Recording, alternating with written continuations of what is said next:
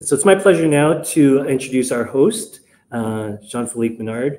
Uh, so Jean-Philippe was appointed Senior Vice President of uh, British Columbia North in June of 2020. So he's responsible for BDC's financing advisory service in this market. He's had 25 years of experience in financing. He started his career at BDC in 1998 as an account manager and has held similar positions of increasing responsibility within the organization. I'm actively involved in the community. Jean-Philippe has been able to develop efficient and diverse teams to, amongst other things, ensure successful career paths for women in the industry. Up until 2020, he also sat in the board of directors of College Durocher Saint Lambert. Uh, Jean-Philippe holds a degree in finance from the John Molson School of Business at Concordia University. So without further ado, I'll pass it over to you, Jean-Philippe.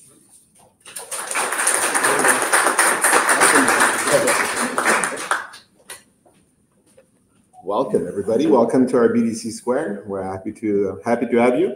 Like Jason was saying, it's a brand new space for us, but that's a space that's been built for what we do today.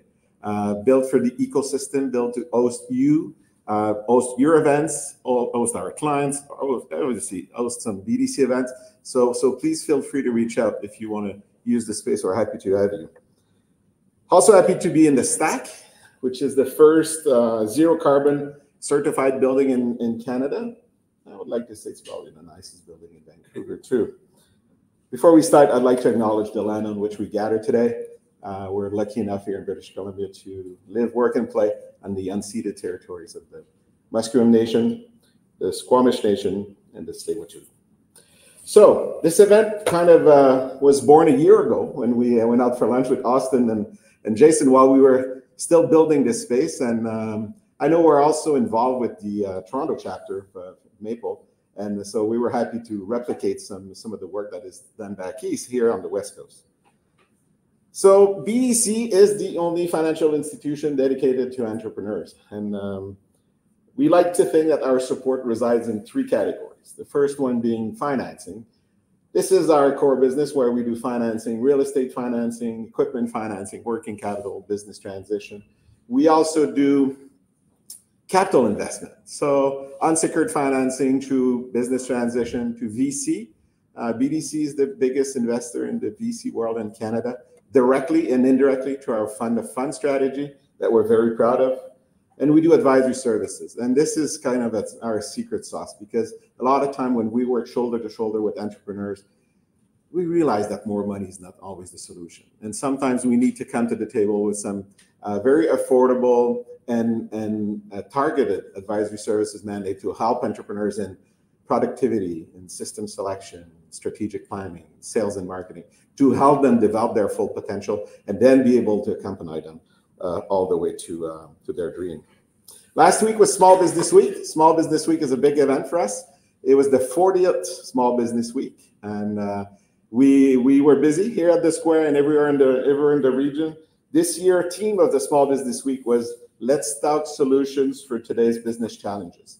It's probably fair to say that there's quite a lot of business challenges on the horizon for, for entrepreneurs these days. And we like to talk, to talk about the trifecta of the business challenges being labor shortage, being high interest rate, and being high inflation. So we, we use the Small Business Week as a platform to launch some studies. Uh, twice a year, we like to bring some studies to the market to um, bring a bit of light or a different angle on, on challenges of entrepreneurs. And this one was around um, labor shortage, which is uh, which is a big challenge here in British Columbia, but everywhere else in the in the country. And um, we we came to the table with like three solutions to um, to improve the, the your labor shortage strategy. The first one being investing in technology, and I'm looking at, at Christian. We've been we've been talking about this forever. Uh, Canadian entrepreneurs are lagging in investing in technology. Uh, our productivity is substantially less than compared to the US companies. So investing in technology and, and be be strategic about it. A lot of time we talk to our clients and they're like, oh no, automation costs a lot. My business is very customized. It doesn't apply to me. The reality is that focus on things that will change the life of your employees. When you talk about labor shortage, try, try to invest in technologies who's going to help them to reduce redundant tasks, non-value added tasks, improve their life as, as, as employees, and it's gonna it's gonna help you with, with retention. we, we have some numbers. Only 11% of businesses are investing seriously in, in technology. Uh, those who are doing it are seeing significant improvement in their productivity, in their profitability, and eventually that gives them that gives them an opportunity to to afford higher wages for their for their employees.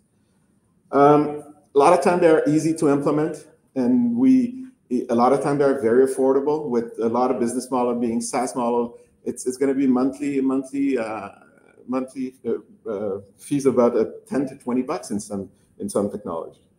The second strategy is, a, is around developing a people strategy. And what we mean by a people strategy is uh, sometimes we talk to SMEs and they're kind of um, they kind of checked out and they kind of given up, saying, "Oh, you know what? I can't really compete with big businesses because they they offer way more benefits and way more um, uh, way, way higher wages and and my message for those entrepreneurs is you have something that the others don't have, and you have the ability to build a culture. You have ability, an ability to adapt to the reality of your employees. And keep in mind that today, more than ever, your purpose is what's going to drive employees. I'm from that generation that were begging for, for jobs when we came out of, uh, of, of college. Today, they are interviewing you. You're not interviewing them. So come to the table talking about what you have to propose. What come to the table to, to talk about what's your mission, what's your purpose, because purpose is what drives that new generation. It, and I feel it's very inspiring to see how purpose driven they are. Nurture pipeline of candidate. Every time you're going out, look for a potential candidate. Open conversation. Don't wait. Don't wait for an open uh, for an open role in your organization. We're far from the moment that the post and hope works. Post and hope doesn't work anymore.